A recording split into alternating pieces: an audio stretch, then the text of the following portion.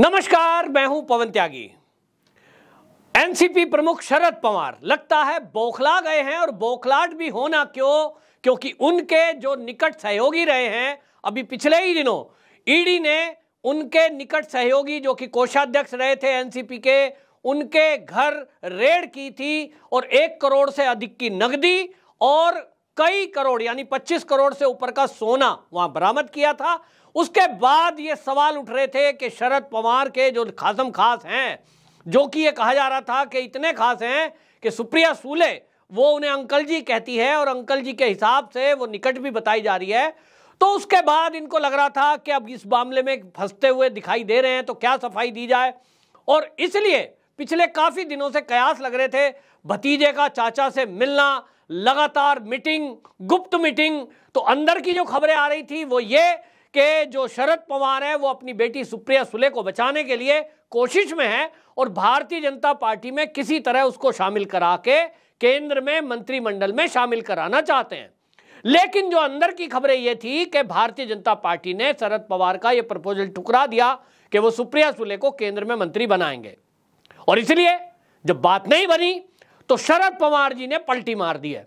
अब वो मीडिया में ये कह रहे हैं कि जी, कुछ लोग पिछले दिनों शामिल हुए थे और वो ईडी के डर से शामिल हुए थे, जबकि हम कभी भी इस तरह से शामिल नहीं होंगे।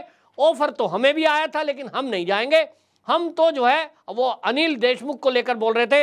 एग्जैक्ट क्या बयान दिया उन्होंने, मैं आपको बताता हूँ। उन्होंने कहा, हाल ही में हमारे कुछ लोग सरकार में शामिल हुए। वो कह रहे थे कि वो विकास के लिए सरकार में शामिल हो रहे हैं, लेकिन ये सच नहीं है। उनमें से कुछ लोग ईडी की जाँच के दायरे में थे और वो जाँच का सामना नहीं करना चाहते थे। वो कहते हैं, अनिल देशमुख ने जाँच का सामना किया। चौदह महीने जेल में बिताए। उन्हें जो है जाँच से बचने के लिए बीजेपी ने और शामिल होने की पेशकश की थी। लेकिन उन्होंने अपनी विचारधारा नहीं छोड़ी और एनसीपी नहीं छोड़ने के अपने फैसले पर अड़े रहे। अब देखिए शरद पवार का बयान।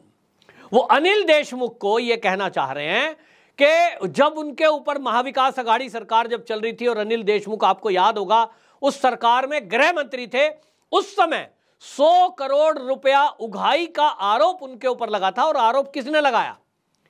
जो उन्हीं की मतलब महाराष्ट्र सरकार में ही, महाराष्ट्र की पुलिस के जो अनिल वजय थे, वो एपीआई अनिल वजय ने आरोप लगाया था कि मेरे ऊपर दबाव बनाया गया कि 100 करोड़ रुपया आपको हर महीने बाहर से और डिस्क से इकट्ठा करके लाना है, आपको रेस्टोरेंटों से लाना है, कुछ भी करो, लेकिन हमें 100 करोड़ चाहिए। यह आरोप लगाया था। और यह आरोप उन्होंने लिखित में लगाया था, जिसके बाद जाँच शुरू हुई।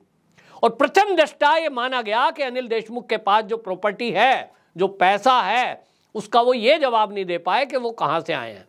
और अनिल वजह कौन है, वो आपको याद ही होगा कि जो आ, मुकेश अंबानी है उनका एंटीलिया यानी जो उनका निवास है उसके बाहर जिलेटिन की छड़े रखी गई थी और एक ब्लैक मेलिंग का पूरा धंधा चल रहा था जिसके अंदर एक उद्योगपति का मर्डर भी हुआ। उस सारे मामले में जब गुत्थी सुलझाने में एनआईए लगी तो एनआईए को यह जानकारी मिली कि उस सब के पीछे एपीआई अनिल वजह है और जब अनिल वजह की गिरफ्तारी हुई तो उसने बताया कि भैया ये तो मजबूरी में करना पड़ रहा है क्योंकि जो राज्य के गृह मंत्री हैं वो हमसे उगाई के लिए कहते हैं। उगाई के लिए हमें, जब कहा जा रहा है, सौ करोड़ लाओ तो हम कहीं से भी लाएँगे तो इस तरह से ब्लैकमेलिंग करके, लोगों को डरा के, धमका के, ये पैसा इकट्ठा किया जाता है। इस पर मामला ईडी को दिया गया, और जब ईडी ने संपत्ति की जाँच की तो उसमें वो दोषी पाए गए। आज आप सोचिए, मामला 2021 का है, वो अनिल वजह का आपको मैं बता दूँ कि जो अनिल वजह हैं, वो नवंबर 2021 में जेल में गए थे। तेरह महीने जेल में रहे 28 दिसंबर 2022 को उनको जमानत मिली है। केस खत्म नहीं हुआ, अभी केस चल रहा है। जमानत मिली है और आज शरद पवार ये कह रहे हैं मतलब जनता को मूर्ख समझ रखा है कि दिसंबर 2022 से ये शरद पवार जी आज ये कह रहे हैं कि बीजेपी ने उनको ऑफ़र दिया था। भाई, अगर आपको ऑफ़र मिला था तो दिसंबर से तो जमानत पर हैं। और आप कितनी बार प्रेस कॉन्फ्रेंस कर चुके, एनसीपी टूट गई, तब प्रेस कॉन्फ्रेंस की किसने तोड़ी? पत्रकारों ने पूछा, भतीजा अलग हो गया, खासम खास लोग अलग हो गए। तब तो आपने नहीं बोला कि भारतीय जनता पार्टी हमें तोड़ रही है। भारतीय जनता पार्टी ने हमें ऑफ़र दिया। आज आपको याद आ रहा है कि भारतीय जनता पार्टी ने तो ऑफ़र दिया था। तो जनता को मूर्ख ना समझे। शरद पवार जी, आपके पैरों के नीचे की ज़मीन निकल चुकी है भतीजा समेत आपके खासम खास प्रफुल्ल पटेल और इसमें और जो खास नेता हैं आपके, छगन भुजबल जैसे, वो आपको छोड़कर जा चुके हैं। ये सच्चाई है और अब वो भारतीय जनता पार्टी गठबंधन का हिस्सा भी हैं।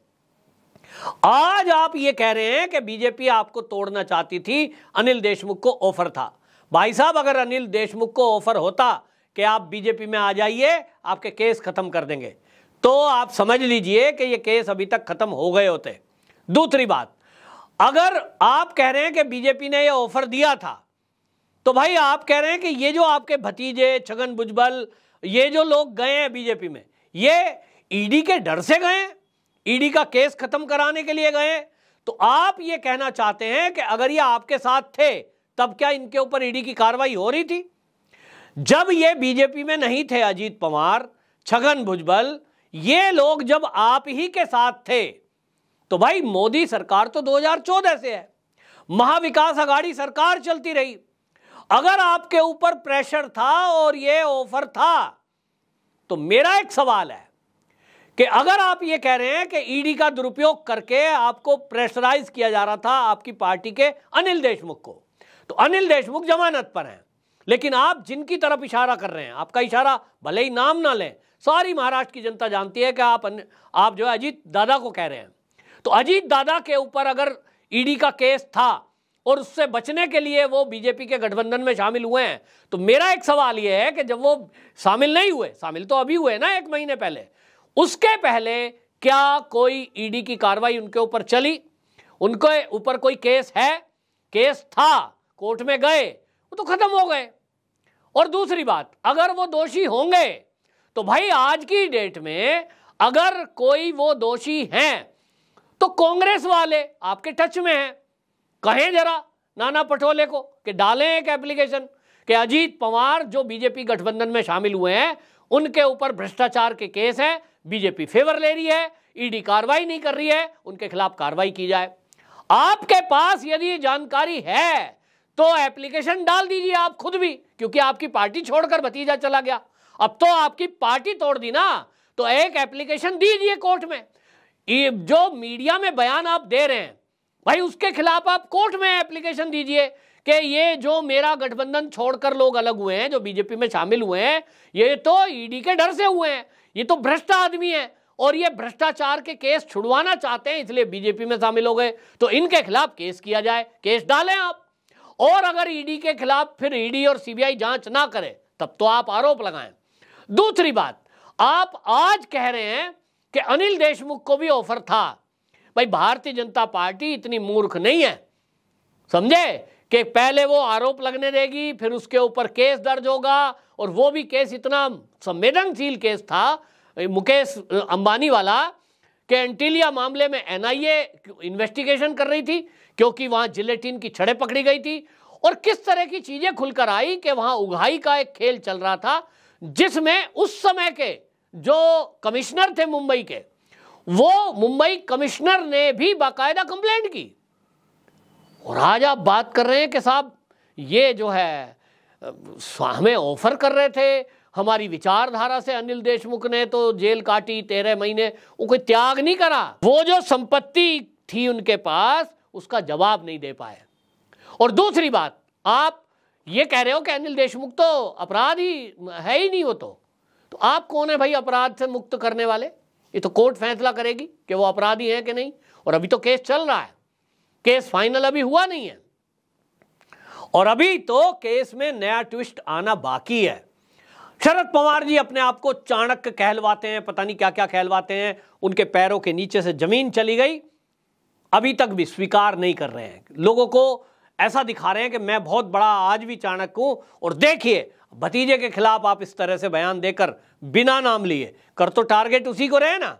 तो ये जो इतने दिनों की मीटिंग चल रही थी कि कभी किसी उद्योगपति के घर मिल रहे थे, कभी जो है भतीजे से मीटिंग हो रही थी, भतीजा अपनी तरफ़ से कोशिश कर रहा है पैर पकड़ने की, बाकी मिलने की, लेकिन आपने ये बयान देकर ये दिखा दिया कि भाई आप भतीजे के भी सगे नहीं हो।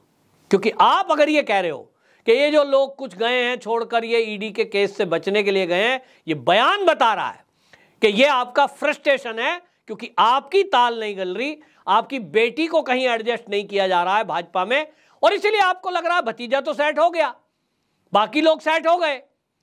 आपकी बेटी सेट नहीं हो पा रही। तो बेटी सेट नहीं हो पा रही तो पिता को दिक्कत तो होगी और दिक्कत होना लाजमी है। अगर आप प्रधानमंत्री से, देश के प्रधानमंत्री से मिलेंगे और उसके बाद उनके साथ अंदर क्या बात हुई, उसको मीडिया में आकर बोलेंगे, इससे बड़ी बेकार बात क्या हो सकती है? आपकी मोदी जी से क्या बात हुई? आपने बाहर आकर इसलिए बताई। वो मुझे शामिल करने के लिए कह रहे थे, मैंने मना कर मतलब अपनी बड़ाई खुद करानी है कि मैं बड़ा सुपर हूँ और भाजपा मुझसे मिलने के लिए लालायित है। बीजेपी को जो ज़रूरत थी, वो उन्होंने पूरी कर ली। अब चाचा जी, आपकी ज़रूरत नहीं है। भतीजा वहाँ बड़ा लोकप्रिय है और भतीजे की अच्छी पकड़ है। अजीत दादा की पार्टी में भी पकड़ है, जनता में भी पकड़ है और वो आज भारतीय जनता पार्टी के साथ है। अब जो आने वाला बीएमसी का चुनाव है वो आपको दिखाएगा। बीएमसी का चुनाव जब भी होगा, उसमें आपको रिज़ल्ट दिख जाएगा कि भतीजे में दम है कि चाचा में। कोई नहीं पूछ रहा आपको। हाँ आपकी महत्वाकांक्षाएँ बेटी को लेकर है। अब बेटी को लेकर आपकी महत्वाकांक्षा पूरी तो होगी नहीं। क्योंकि भारतीय जनता पार्टी किसी ब्लैकमेलिंग में नहीं आती है। कितना भी नुकसान ढूंढना पड़ जाए, अब आप सोचिए, ये जो यहाँ पर थे उद्धव ठाकरे, वो किस तरह की बातें कर रहे थे? आज उद्धव ठाकरे कहाँ है? खत्म। चाणक्य तो असली इस देश में एक ही है, जिनका नाम है श्री श्री श्री श्री अमित शाह। वो ऐसे व्यक्ति हैं कि उनसे दोस्ती रखोगे, यानी भाजपा से। व्यक्तिगत बात नहीं। पार्टी से दोस्ती करोगे, मित्रता करोगे, देश हित में मदद करोगे तो उनसे बड़ा मित्र कोई नहीं है। और अगर आप गद्दारी करोगे, पार्टी के साथ या देश के साथ, दोनों बातें हैं तो भाई वो चाणक्य वाली नीति से चलते हैं, फिर वो जड़ में मट्ठा डालने का काम करते हैं। छोड़ते ही नहीं है। उद्धव ठाकरे का क्या हाल है? आज कोई नहीं पूछ रहा। रुके रहिए थोड़े दिन।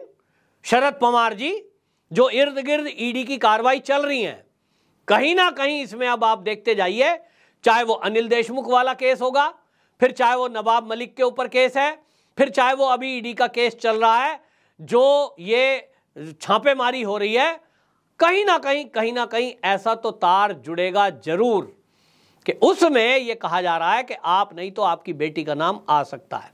ये महाराष्ट्र के जो पत्रकार हैं, जो वहाँ की राजनीति को जानते हैं, वो जानते हैं।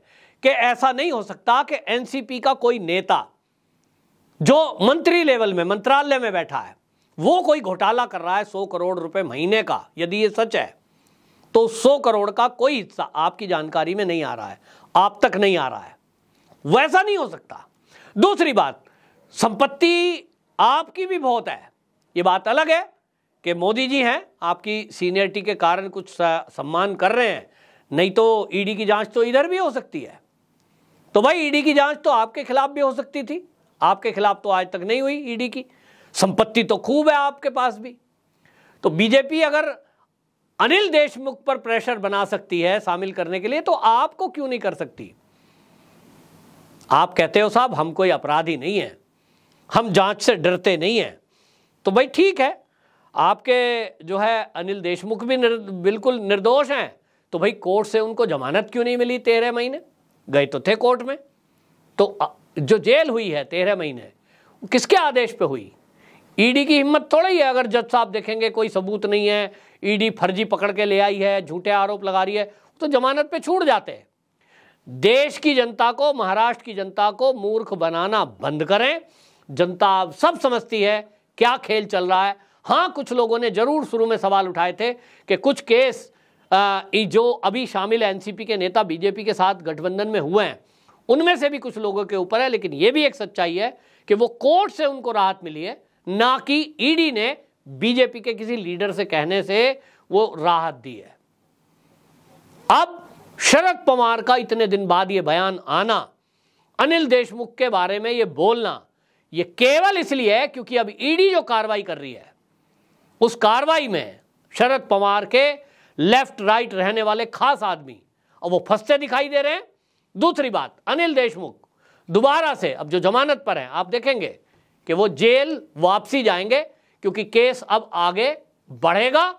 और इसमें एक बहुत बड़ा खुलासा आपको मैं बार बार बता दूँ कि अभी एक बहुत बड़ा विस्फोट खबर का ये होने वाला है, लेकिन ये होगा कब? ये दिसंबर के आसपास जाके होगा, जब मुंबई के पूर्व कमिश्नर वो जो उस समय थे, जब सुशांत सिंह राजपूत की मृत्यु हुई थी और जब दिशा सालियान की मृत्यु हुई थी, उस समय जो कमिश्नर थे, वो जब सामने आएँगे।